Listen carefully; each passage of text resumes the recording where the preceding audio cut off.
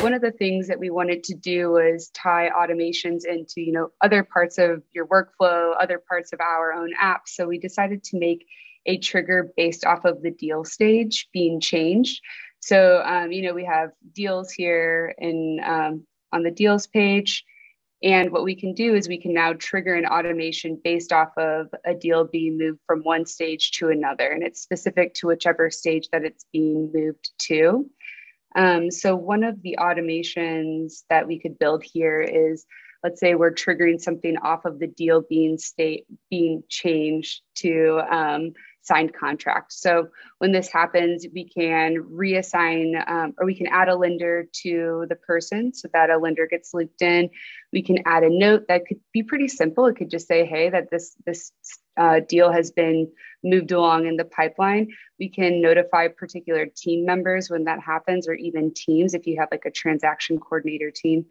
Um, and then we can also start an action plan. So um, that action plan could be used to um, start assigning tasks to a transaction coordinator.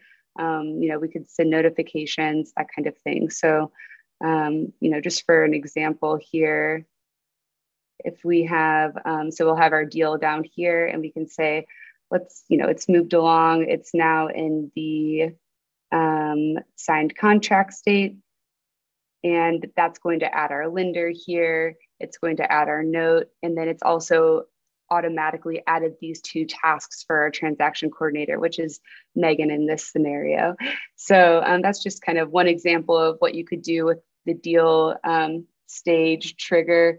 You know, another more simple one could even be just when you move the deal to closed, it starts the post closing action plan. So it can be, you know, just a simple one step thing as well. But there's a lot you can build off of here to make that workflow just more standard and really more robust and looping in the right people at the right time without having to rely on the agent to manually do a lot of these things.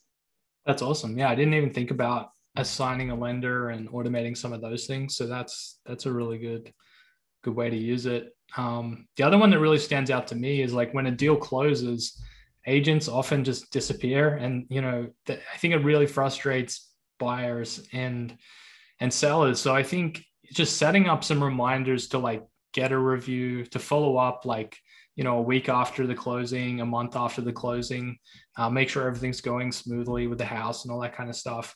These are really basic things. And obviously it's, it's such like a high value, um, you know, leverage use of your time because you know someone that just bought a house in your neighborhood they always know other people that are looking to buy or sell a house in your neighborhood so um, yeah i think really like the deal stage changing is awesome. Like there's just so many different ways that you can use this and start to automate some of these things in your business, even if it's just a reminder. Hey, make sure you 100% get this review or um, follow up with this person. Yeah, that's huge. We talk to agents all the time that you know some some of you probably have some really robust plans when a deal closes, and other others of you not at all right so i think that the takeaway here is if you are just starting out and you don't have any plans in place, just do something, right? So you can make this really, really simple. And your automation, when a deal, you know, switches to closed, then just trigger, you know, a task to follow up, like Dan said, you know, or to get reviews. Like focus on doing one thing really, really well and consistently, and then you can build upon that from there. The other one you can do, uh, which I know some of our clients are doing, is they send out an email from the team leader, basically asking how the transaction went, if there's anything they could improve. Um, so creating like some kind of feedback loop so that they they're always being able to get feedback about their agents and then give that feedback to the agent. Um, that could also be something that you could set up to automatically trigger. Um, and generally, in those cases, if it's been like a more difficult transaction, you don't want to send that out because you already know about the difficulties. Um, so that again, that might be something where conditions come in and you're saying, hey, this is tagged a certain way, or you know, if it was um, a certain person, like don't send this out.